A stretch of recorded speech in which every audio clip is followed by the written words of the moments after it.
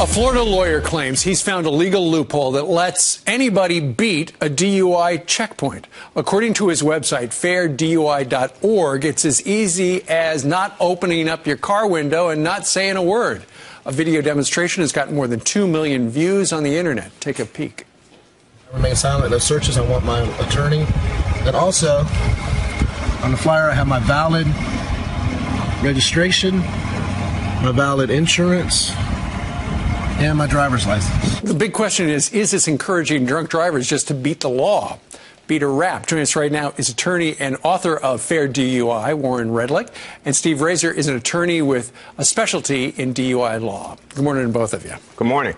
Good morning. Okay, so Warren, let me get this straight. If you're pulled over at a checkpoint, you simply hold up this flyer that you've got, and it says, I'm not going to open the window. I, I want to talk to my attorney. I remain silent. No searches. I want my lawyer. You've done this. Explain why it's working. Uh, because the police are very restricted in a checkpoint as to what they can do, and the guidelines are they're supposed to ask to see your license. Every checkpoint's different, but they're supposed to ask to see your license, and you show it to them through the window. And their guidelines don't give them more leeway than that. This, the courts have been very limiting on what they can do in a checkpoint.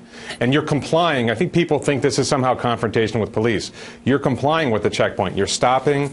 You're asserting your rights, which you have every right to do, and you're showing the police officer the documents he needs to see. Mm-hmm. And we've done about 80 of these videos. The police officers are fine. They let us go.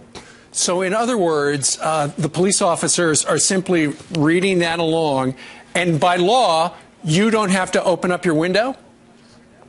Correct. There, are certainly people who disagree with me about this, and the key is you don't voluntarily roll down your window. If you're ordered to roll down your window, I think in general it's a good idea to follow the police's orders and Absolutely. not get beat up or whatever. But if you if you if it's an order, now you have something I can use to defend you in court if something comes up later. Right. If you voluntarily roll down your window, I've sacri- you've sacrificed an argument that I need to defend you. Okay, Steve, you've got a problem with this. What is it? Well, a couple of problems. Number one, what you're doing in essence by holding up this sign is you're drawing attention to yourself, which is not what I think you want to do when you're going through one of these checkpoints. You could very well be waved on without any interaction with the police whatsoever, depending on how the checkpoint is designed.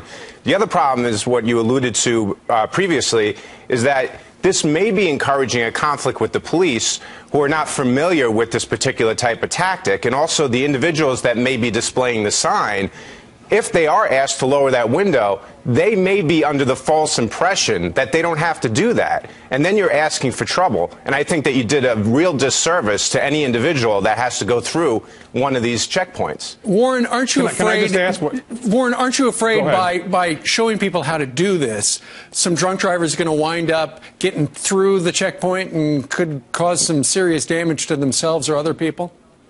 No, I don't worry about that at all because this is something that's difficult to do if you're if you're drunk. It requires you to be patient. It requires you to remain silent. It requires you to follow instructions. Those are all things that police test for when they have you on the side of the road. They look for whether you're impatient. They look for whether you follow instructions well.